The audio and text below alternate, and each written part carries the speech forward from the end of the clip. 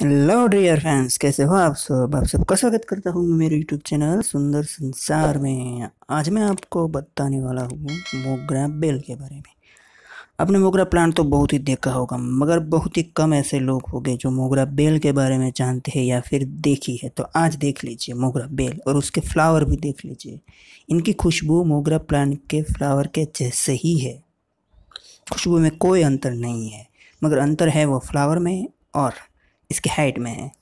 कम से कम मैं मानूँ तो दस फीट तक चली गई है ऊपर। छोटी ही स्टैम्प है, मगर इस साइड भी बहुत सारी चली गई है, उस साइड भी बहुत सारी चली गई है। तो आप सोच रहे होंगे कि इसमें इतनी सारी कलियाँ क्यों आई है? तो उसका कारण एक ही है, जो पौधे को चाहिए वो मैंने उसे दिया। तो आपका प्रश्न ये होगा कि पौधे को क्या चाहिए? पौधे को बस तीन चीज़ें ही चाहिए, नाइट्रोजन, पोटेशियम और फॉस्फोरस। ये तीनों ही हमें कुदरती तरीके से देनी है, ना ही कृत्रिम तरीके से एन पी के डालकर। वो भी इस गर्मी के सीज़न में तो एन पी के कभी मत डालिएगा, वरना आपका प्लांट तो पूरा डेड ही हो जाएगा, मेरा अनुभव है आपसे।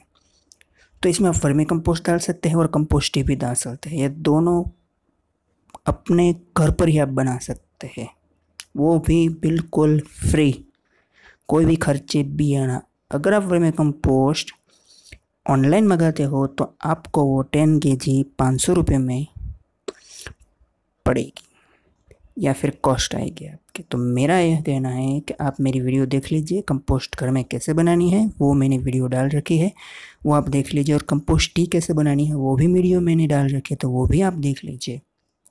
देखने के बाद आपको पता चल जाएगा कि वो बिल्कुल ही फ्री है, फ्री की खाद है और हम घर में भी बना सकते हैं। हर पौधे पर हम अप्लाई भी कर सकते हैं। और अप्लाई करने के बाद रिज़ल्ट क्या है, वो आप देख रहे हैं। इस वीडियो के स्वरूप में मैं आपको दिखा रहा हूँ। तो आपने ये सोच लिया कि इसका प्रोग्रेस इतना कैसे हुआ है और क्यों हुआ है, वो बात तो आप समझ में आ गई है। मैं बात करता हूँ आप इसे ग्रो कर कर सकते हैं आप इसे कटिंग से भी ग्रो कर सकते हैं और एयर लेयरिंग से भी ग्रो कर सकते हैं। मगर मानसून के सीज़न में ही ये करना है समर के सीज़न में नहीं करना है। अगर समर के सीज़न में किया तो ग्रो होगा नहीं क्योंकि मानसून का पानी है वो पौधों के लिए वरदान के स्वरूप है। जितना ही चाहे क्यों ना गिर जाए मगर कभी भी लिफ बर्न नहीं होता कभी भी ब्राउन लिफ नहीं होती है। हाँ, पूरा दिन चाहे क्यों ना पानी इस पर पड़ जाए। मगर कुछ होता नहीं है। मगर हमने समर में थोड़ा सा ज़्यादा पानी डाल दिया तो समझ लीजिए पौधे को बुरा लग गया। और वो लिफ बरना, ब्राउन लिफ होने लगते हैं। और ये देख लीजिए मेरे रोज़ का प्लांट। लोगों को फ्लावर ऊपर लगता है, मेरे रोज़ में नीचे लग रहा है, क्या गुलाब है? और ये जो प्लांट है, वो है मोगरे का प्रॉपर प्लांट। एक कली है, वो देख लीजिए। दोनों में साइज़ और पैटर्न में फ़र्क है। तो मैं बात कर रहा था कटिंग की। तो कटिंग से भी अभी से ग्रो कर सकते हैं और एयर लेयरिंग से भी ग्रो कर सकते हैं। एयर लेयरिंग कब करनी है तो वो मानसून में ही करनी है। किसी की पौधे भी आप एयर लेयरिंग कर सकते हैं। एयर लेयरिंग से आपकी कटिंग हंड्रेड परसेंट सक्सेस हो जाएगी।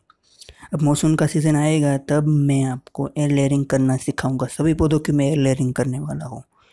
एक बार मैंने एयर लेयरिंग की थी, मुझे एक सौ सौ प्रतिशत उसमें सफलता मिली कटिंग में भी मुझे सफलता मिलती है। कटिंग भी मेरी कभी फेल नहीं होती है। मगर आप बिगनर हो गए आपने कभी ऐसा काम नहीं किया है, इसलिए मैं आपको एयर लेयरिंग करना सिखा रहा हूँ। आप देख लीजिए, ये एक टहनी है। एक टहनी में से टहनी निकलती जाती है और दो दो, तीन तीन फूल इसमें खिल रहे हैं। इसकी सुगंध भी मोगरे की तरह ही बहुत खुशबूदार है। वो भी सुबह में निकलता हूँ मेरे आँगन में तो इतनी खुशबू क्या आती है कि पूछो मत। ऐसा लगता है कि पूरा आँगन है, वो महक गया है। तो हम अपने घर में ऐसा पौधा रखना ही चाहिए। अगर आपको ये मेरा वीडियो पसंद आया हो तो ही मेरे चैनल को सब्सक्राइब कीजिए, वीडियो को लाइक और शेयर कीजिए। Thank you so much, dear friends.